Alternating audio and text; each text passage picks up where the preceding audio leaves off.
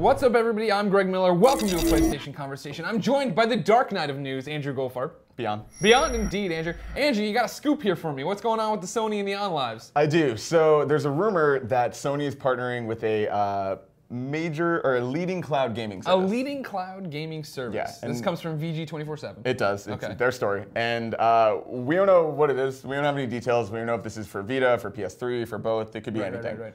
But um, I mean, my first thought is OnLive. That was the first company you know that my mind jumps to. See now, and it set me straight. I thought Steam. Steam had some integration Hmm. with Portal 2. If you log, if you, when you go to Steam now, it still asks you, "Are you a PS3 user logging in for the first time? Tell me about it or whatever." Why Yeah. isn't? Why didn't you jump there? Uh, because I think as far as Steam's like cloud integration, I think it's just for saves, which I mean PS3 can do anyway. You know, like Sure. you can you can keep your game in the cloud regardless. Uh-huh. Um, to me, like uh, yeah, and again we don't know any details, but to me the first thing I picture is you know playing games like you know whether it's PC games or PS3 games that you don't actually have downloaded to your system, being able to stream them and play them without using your hard drive space. Like that was my first thought. Okay, see, Um, it's interesting because like the the VG twenty four seven article is simply it's a, a giant article, and then they have one Right. line that's there's a partnership deal between PlayStation and a leading cloud gaming service. I think Steam could still fit in there. I, and I'm, I'm not giving up on Steam. I want to play Civ five, and I want to get trophies for it. That's what I want. I mean, yeah, if you could do that through your PS3, that would obviously be ridiculous. Yeah, that would yeah. be huge. That would be an unbelievable exclusive for Sony, which is why I don't think it's that. Think, You're uh, right. Usually the no brainer awesome exclusive doesn't come through. Right, exactly. Um, Does it? I'm gonna, I'm gonna guess that it's uh, OnLive or Gaikai. What's Gaikai?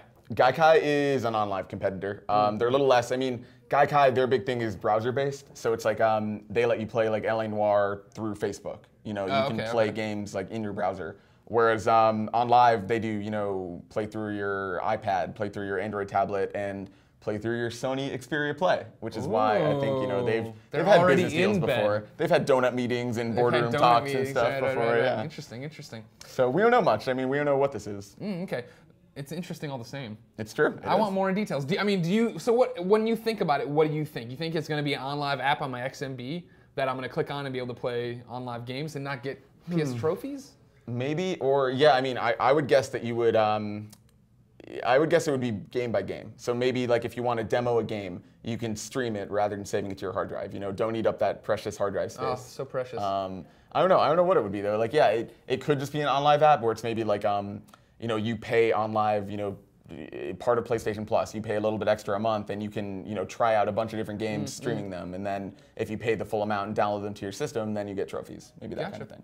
Well, ladies and gentlemen, we know nothing about this, but thanks for Sure. watching our speculation. We want to know what you speculate. Do you think it's OnLive? You think it's Gaikai? You think it's Steam? You think it's something we don't even know about? Let us know in the comments section below. If you're on YouTube, like this video. If you're on IGN, stop bitching about the IGN video player because I don't care. But it buffers. It buffers, so fine. much. Just calm down. It's so much better than what we had before. But Yeah, people that's true. never happy. For all your PlayStation news, keep it here on IGN.com.